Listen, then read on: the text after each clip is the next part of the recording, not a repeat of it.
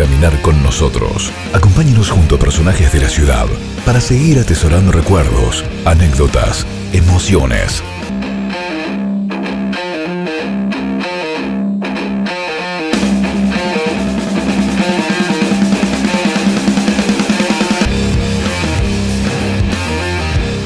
Mil metros. Conducción.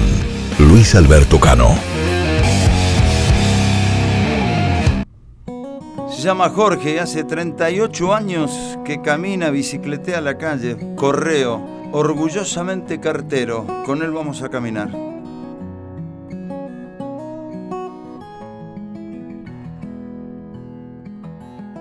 Tenemos que caminar despacio porque si no al viejo lo tiramos. Por eso. Jorge, Buenas tardes, Luis. un gustazo. ¿Cómo te va? ¿Cuánto hace en el correo? Eh, 38 años llevo ya en el Correo Argentino. Una pregunta antes de arrancar a caminar por el barrio. Decime. Este es el barrio de Luis Forza. Barrio Luz y Fuerza. ¿Cuánto hace que vivís acá? Eh, 18 años más o menos, 18, 20 años aproximadamente. Está lindo, ¿eh? Asfalto, Lindo barrio, muy seguro, muy tranquilo. Bueno, la pregunta que me hago es la siguiente. La imagen esa del cartero con la car con la mochila, no sé cómo le llamaban. ¿Cómo Y le- sí, con la valija, Con la valija llena de... ¿Sigue existiendo? sigue existiendo, Luis. La, ¿Te la pones acá, la- en la Y bicicleta? En bicicleta también, en bicicleta, otros que salen caminando de acuerdo al radio que tienen, ¿no es cierto? ¿Y vos en qué andas? ¿En bici? Yo en este caso ando en bicicleta, porque ya tengo un radio medio alejado Una del pregunta centro. tonta. ¿La bici la dejás acá y arrancás en bici o la dejás allá, en el no, correo? en el correo queda. En el correo. Sí, queda ¿Esa nadie correo. te la toca? No, no, no, no, para nada, no. Aparte, viste que ya tenemos un lugar específico. Pero como te comentaba recién, hay carteros que por el centro, el radio de mucho tránsito, mucha gente, eh, tiene que ir repartiendo caminando. Y después los sectores de barrio. Bueno, a vos te toca, te toca un lugar medio céntrico también, ¿no te toca venir a León por ahí, a la. Madrid? Sí, pero yo tampoco más retirado de, que, de tantos comercios, ¿viste? Ya está más. Yo estoy por la Madrid, por Dorrego, por esos lados que medianamente hay más tránsito de ¿Cuánto vehículos. hace que, te- que estás en ese sector? Y yo arranqué el primer año en el año 79 en el barrio San Martín. Y aproximadamente en ese sector que ando, y 37 años, porque estuve un año solo en el barrio San Martín.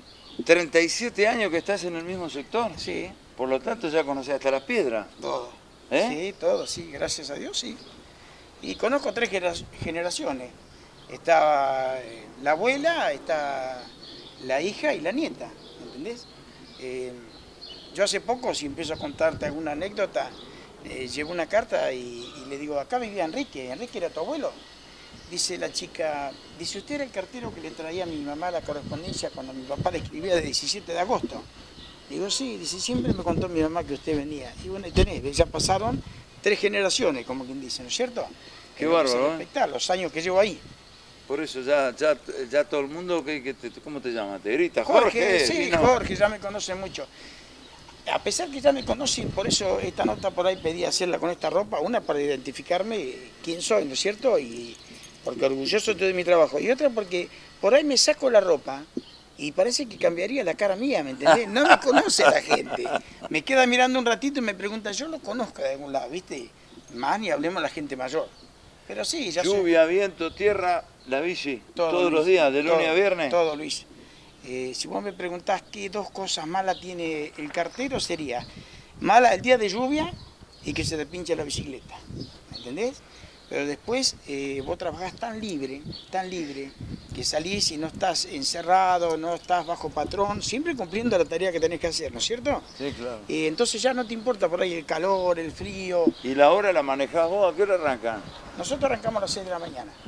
Ahí clasificás las cartas. Exactamente. Separamos, clasificamos lo que es las, piezas postales, lo que son los impresos, que vendrían a ser los diarios, esas cosas, y después viene lo que es control, ¿no es cierto? Lo que son las piezas que son con bajo firma, que viene a ser la certificada, cartas, documentos, presos, y los, eh, por ejemplo, pasaporte, DNI. Pero perdóname, me estoy imaginando, vos llegás todos los días al correo, mirás todas las cartas que hay ahí, reparten no sé cuántos, ¿cuántos carteros son? Y en este caso, en el centro, estamos eh, aproximadamente, somos 18 carteros, 20. Pero la distribución la haces vos. A ver, vos La- sabés, Avenida Elena al 200, vos sabés que eso te toca a vos, tenés que mirar, tenés que mirar la dirección. Es, no, eh, hola, Hola. Exactamente lo que tenemos que lo que tenemos nosotros es que los repartos nuestros es como los como los eh, colectivos, viste que van siempre por los mismos sectores. Sí. Nosotros ya tenemos divididos siempre todos los sectores y los carte- la gente que clasifica la correspondencia Ah, ah, ahí está. Esa- la- esa. Hay, ahí. hay gente que previamente la clasifica. la separa por reparto. Sabe que el reparto mío, eh, el número 7, va de tal lado a tal lado, que el otro, el 1, va de tal lado, a- y ¿me entendés?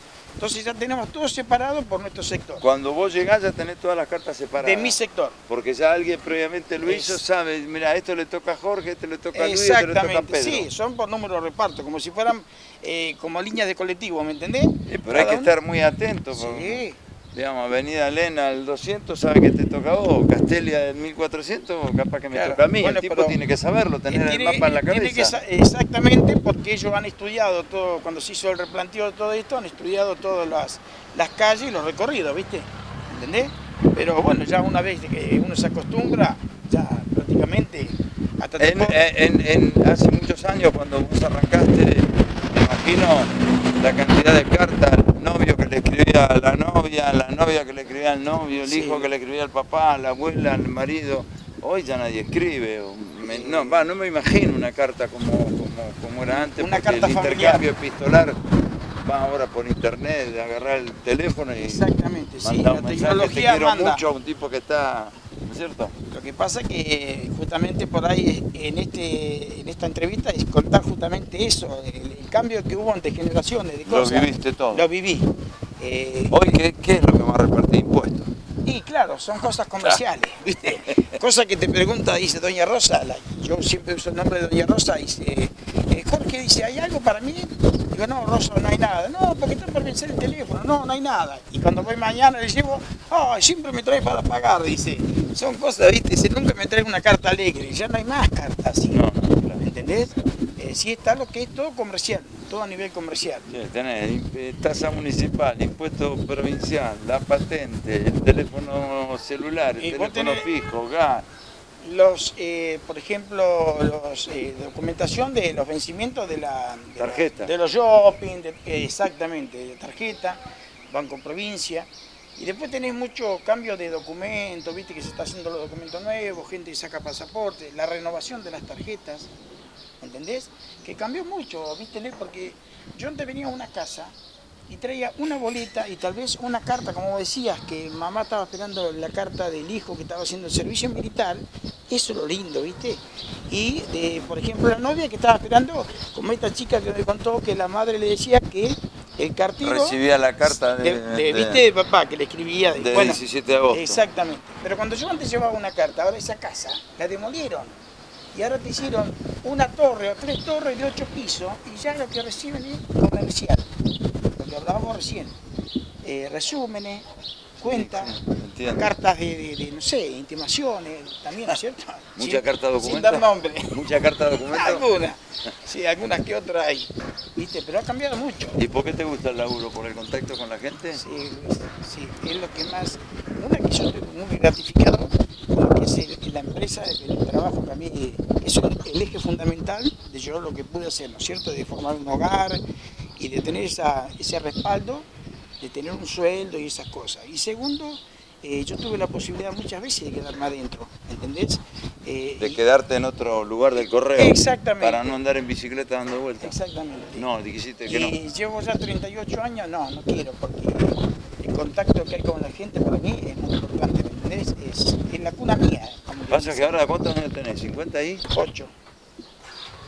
Te quedan 7 años más. Pero Y no sé lo que pasa ahora con la nueva. Bueno, no importa, mientras, ande la bicicleta, ¿viste?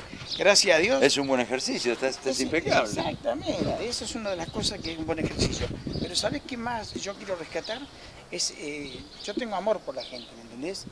Eh, ese cariño cuando la gente, cartero, hace frío, venga, tómese un cafecito, ¿me ¿Ya entendés? te dicen eso? Claro, ¿Te entonces... hacen te conviene- entrar a la, casa? Sí, Luis. Hay gente que por ahí se viene eh, porque el, hijo está viviendo en Italia y se casa, me traen torta de Italia o de lugares así, o algún bombón, alguna cosa que es de la fiesta, y que la misma hijo la hija le dice, mamá, llevárselo al cartero, ¿me entendés? Esas son cosas que no tienen precio. Pues ya, te, ya, ya conoces a todo por nombre. Sí, sí. ¿eh? No, en serio. Sí, nombre, apellido, todo. Mejor dicho, Cuando estamos separando las cartas, yo ya sé qué recibe Fernández, Gutiérrez, vamos a ponerle González, ya sé qué es, ¿me entendés? Ya sé qué recibe, Entiendo. qué cuenta, eh, ya sé de dónde si no está, quién se la dejo.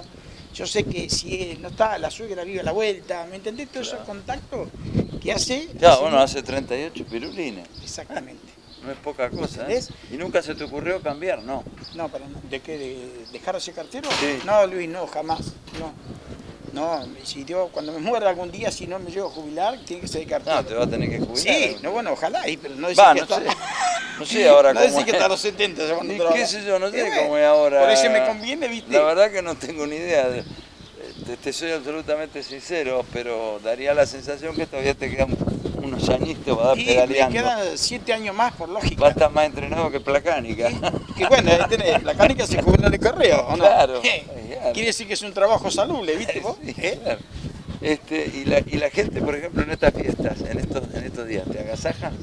¿Te, Sí, te- la te da gente- cositas? ¿Te da regalitos? Eh, eh, cambió mucho, ¿viste? Cambió mucho las generaciones de todo, porque antes yo siempre destaco a Doña Rosa, ¿viste? Por el hecho de que siempre antes...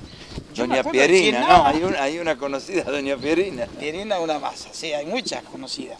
Pero yo me acuerdo antes cuando el cartero te llamaban, que un pan dulce. ¿Te daban? una- sí, Ahora no. Luis, hasta la Y ahora por ahí es más, viste, los chicos. Es otro tipo de trato ahora, es ¿no? otro tipo de trato. Ya el vecino ya Más, no, más, más impersonal, la el sensación. vecino ya no se comunica, No, de la claro. juventud de ahora ya no hay contacto, ¿me entendés? Antes, cuando yo llevaba una carta eh, a un lado determinado, me recibía la de ella, la de enfrente, todo, ¿me entendés? Ahora voy a llevar una carta y la señora me pregunta que va a llamar a la hija para ver si la recibe o no, ¿me entendés? Porque no sabe, no está segura. Cuando antes recibían de todo y no veía ningún problema con nadie, ¿me entendés? Todos eran vecinos, Bueno. todos eran buenos. Vamos a seguir caminando por el barrio y después completamos la charla, dale. Dale.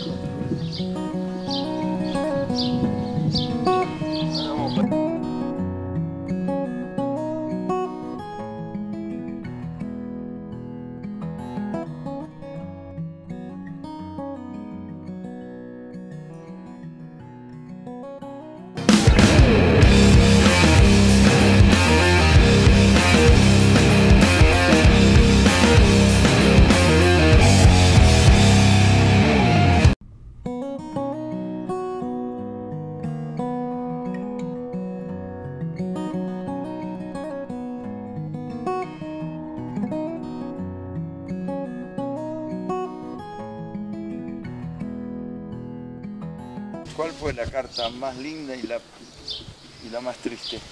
Porque debes tener recuerdos de ese tipo. Y lindas siempre Bueno, yo no quiero te- hacerte un golpe bajo, pero vos recién me contaste la, la, la- la anécdota que todavía te pone la piel de gallina en el patronato. Sí, Luis. Eh, yo por ahí fui agradecido a la vida o al trabajo. o- para mí tuve una bendición ese día de que los jefes del correo me dijeron que Jorge mañana dice, cuando llegué, dice, no vas a repartir. Pero ¿por qué no voy a repartir?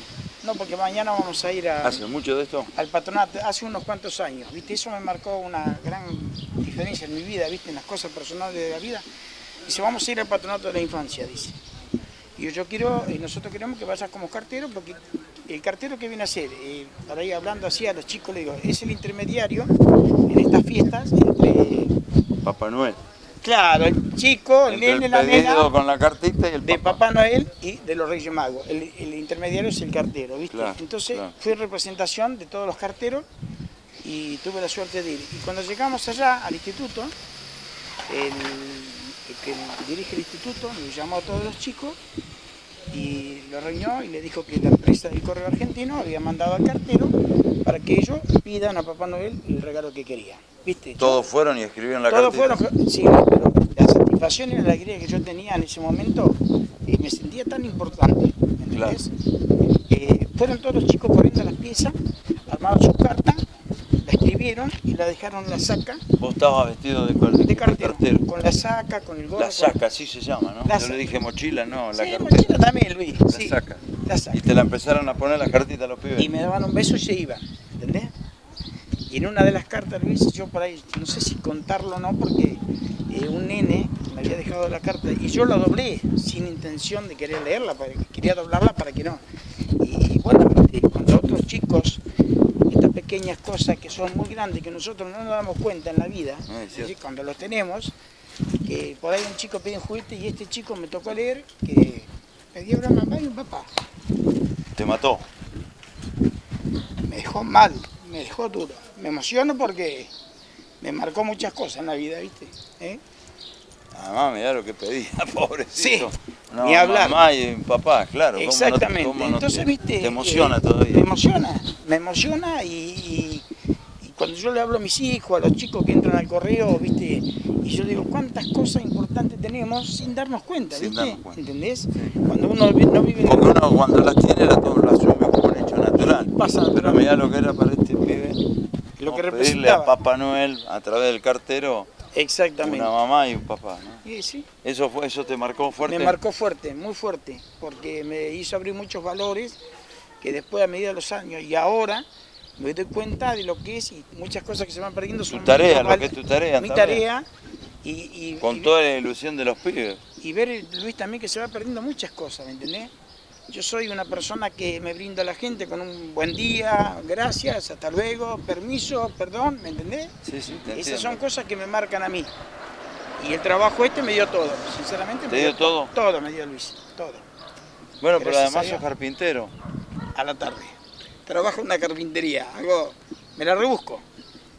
Eh, Digamos, ahí te juntás unos pesitos más. ¿Siempre Sí, lo hiciste te- lo- lo de siempre la carpintería? Sí, siempre. ¿Nunca se te ocurrió ponerte en una carpintería, largar la bicicleta? Lo hice en un tiempo y ya después cuando empezó a avanzar todo lo que es el cambio de, de- de lo que es los muebles, ¿no es cierto? Que ahora es todo más melamina, más aluminio, todas esas cosas, ya no, no lo hice más. Ya no, no te ¿A daban los te costos para competir. te le gusta laburar la madera? La madera, madera. ¿Entendés? Bueno, Así que eso bueno, es eh, sí. el verdadero oficio de El carpintero. verdadero oficio, pero ahora ya viste que son todos placas, ya cambió mucho eso. Bueno, pero en realidad Pero lo mío lo es seguís, esto. lo seguís haciendo, Sí, en la tarde, sí. es una extra, digamos. Sí, sí, me gusta, me gusta, sí.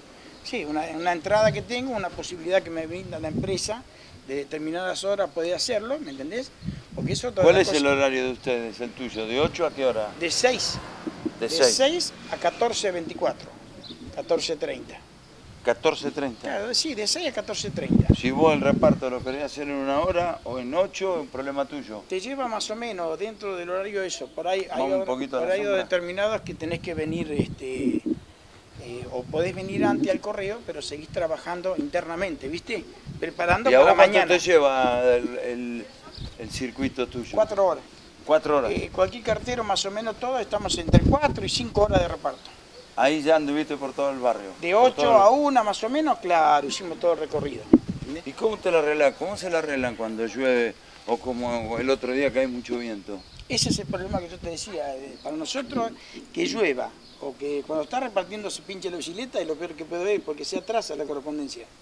Entonces, si llueve, al no poder salir, se te junta lo de hoy con lo otro que entra, pues lo otro no lo viene. que hoy no repartiste, ¿lo podés repartir mañana? Y sí, Y si es una cosa con vencimiento... no, eso sí salimos, de cualquier manera sí salimos. Si hay una carta, un telegrama con equipo de lluvia o mandan a un vehículo, ¿viste? Ah, Eh, con las camionetas de, de transporte que son de encomienda, lo manda, si es algo muy importante, por intermedio de ellos.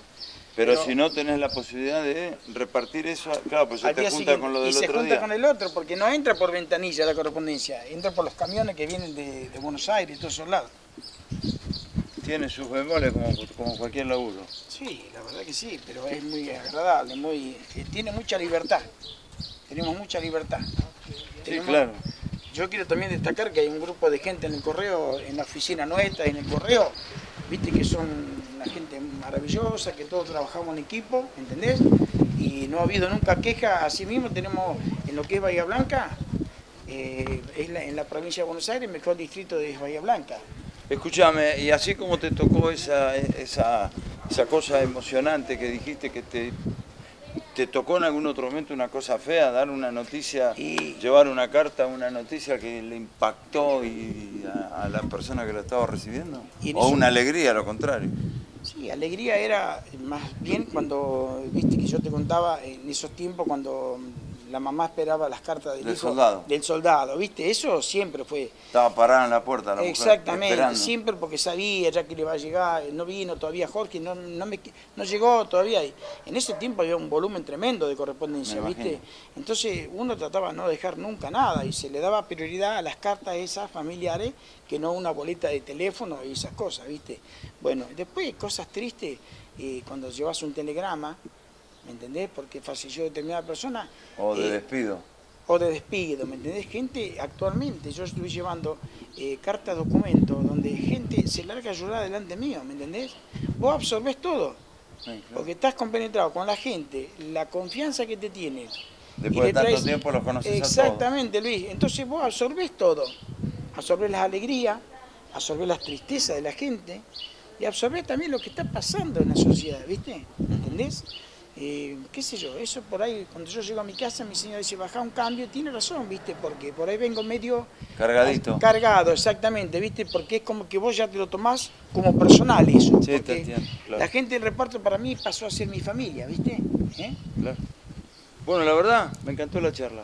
Luis, Un gustazo. y yo no me traigas quiero- nunca un telegrama de despido, ¿eh? ni No. una carta documento. Yo quiero agradecerte por todo. ¿eh? Muchas gracias y les saludo a todos.